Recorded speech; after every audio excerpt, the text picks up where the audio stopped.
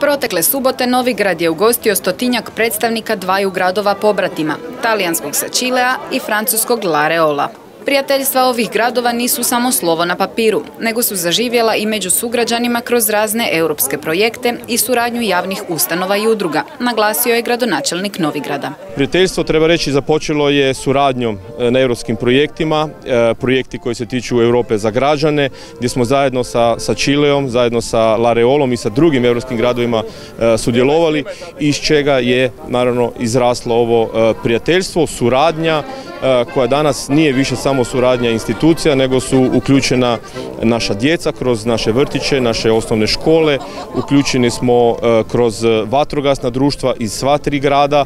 Upravo uključivanje mladih i udruga pruža garanciju da će gradovi i dalje zajedno rasti. Na zelenoj površini Parka Europe s tim su ciljem zasađena tri simbolična stabla prijateljstva između ovih gradova koje vežu brojne sličnosti. Sličnosti su u veličini gradova, znači pojednakih e, su veličina, ali prvenstveno što je htio naglasiti da, da je sličnost u srcu, u nekakvoj emociji, u osjećajima kojima, koje dijelimo i povezanosti naših građana.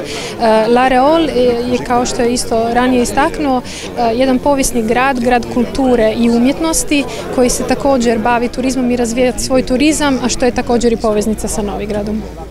La giornata di oggi per noi è una giornata molto importante perché andiamo a siglare... Današnji je dan za nas jako bitan, jer ćemo i ovdje potpisati ugovor o bratimljenju između naša tri grada.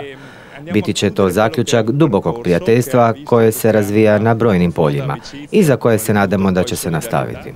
U gradskoj loži potom je priređena protokolarna svečanost u okviru koje su potpisivanjem povelje o bratimljenju gradonačelnici potvrdili službena prijateljstva. Druženje je potom nastavljeno u okviru manifestacije Park Food Fest do večernjih sati, kada su gosti ispraćeni s parkirališta sportske dvorane.